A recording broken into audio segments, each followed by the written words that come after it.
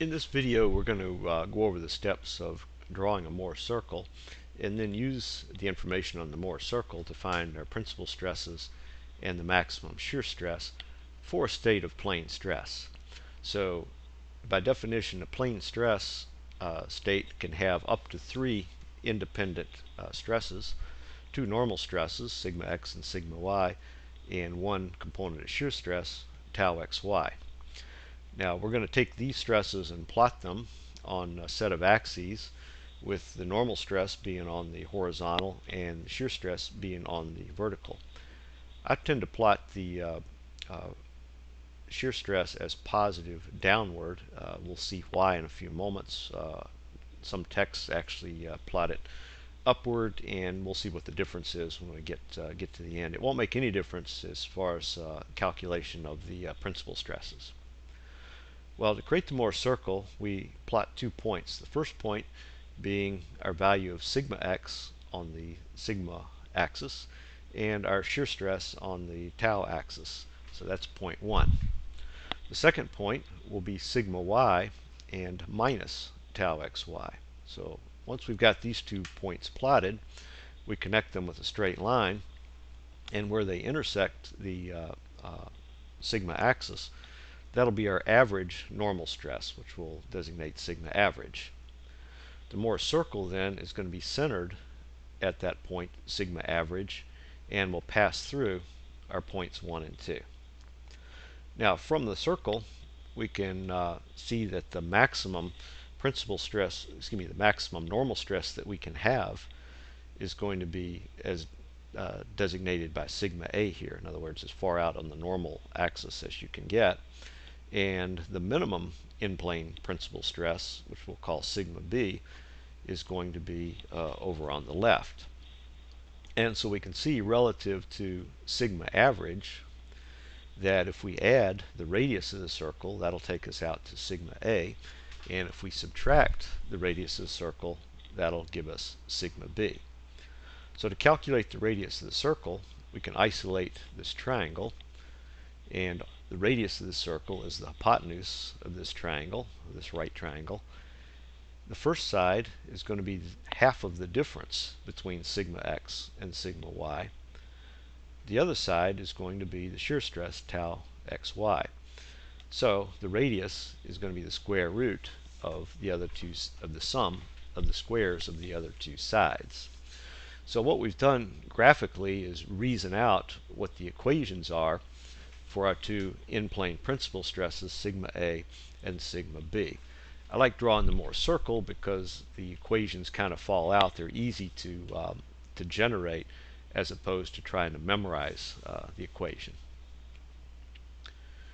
Now, the reason I said that I like to plot uh, the shear stress being down is because you may want to know at what orientation does the uh, are the axes such that uh, the principal stresses are present.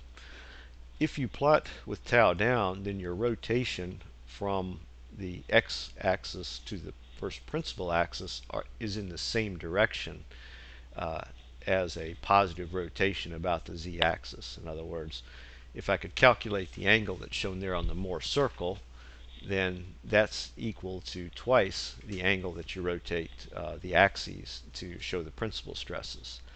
Uh, the reason it's doubled is because those are double angle formulas that are used to generate the, uh, the Mohr circle, which makes sense if you look at uh, point 1 and point 2, they represent sigma x and sigma y, which of course are 90 degrees apart, but on the circle they'll end up being 180 degrees apart. And if you rotate the element through 180 degrees, you really are back where you started from, so that would be a full 360 degree rotation on the Mohr circle. And of course you can calculate then, uh, based on knowing what the sides of that triangle are, you can calculate what that angle is. Now, most of the time that's that's not really of interest to us, but what we do want to know is, uh, again, what the values are of sigma A and of sigma B. And also, uh, in particular, when we're, we're trying to analyze failure with the maximum shear stress uh, criterion, we'll want to know what the maximum shear stress is as well. Now the maximum shear stress is not necessarily the uh, radius of our Mohr circle. That would give us the maximum in plane shear stress. But if we uh, take a look at our, um, our little block of material here, recognizing that uh, by definition the principal stresses are uh, for orientations for which the shear stresses are equal to zero, well because there are no out of plane uh, shear stresses, the uh, out of plane normal stress, sigma z, or in this case we've labeled it as sigma z, sigma c rather, uh, even though it's equal to zero, that is also a principal stress. So our three principal stresses are the two that we find from the Mohr circle and the third one, which is equal to zero. Now what that Mohr circle that we drew represents is, as we said earlier, it's the all the stress states that are possible for a rotation about the z-axis or for a rotation about the c-axis, if we want to think about it that way. But we can also create two other Mohr circles. One of them by looking at the rotation about the a-axis. And so we can see if we were to plot our, our points, then uh, sigma b and sigma c would be our normal stresses. There are no shear stresses, so our little circle would be as shown here. And we can also rotate this block of material about the b-axis, in which case our extreme values of normal stress would be sigma a and sigma z, c rather. And so we can plot all three of those on the same axes, and sometimes that's called a 3D Mohr circle, although we have to remember it's for three uh, it's for 3D rotations, but it still is only good for a state of plane stress.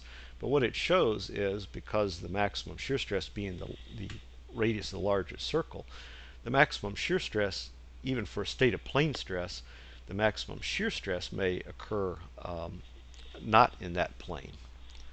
And so to find the maximum shear stress, and all we have to do is find the radius of the largest circle, but there's actually three cases of that. The first case, we draw our Mohr circle, sigma A and sigma B are both positive, which means, of course, sigma C, being the zero one, is going to be the smallest one. And so the largest circle, as you can see, turns out to be sigma a divided by 2, the radius. If sigma a and sigma b are both negative, then sigma c becomes our, our largest of our principal stresses. And we can see that the maximum shear stress ends up being minus sigma b over 2, sigma b being negative, so we do get a, still get a positive value for tau max. And the third case, if sigma a is positive and sigma b is negative, then the uh, radius of the largest circle is as shown here.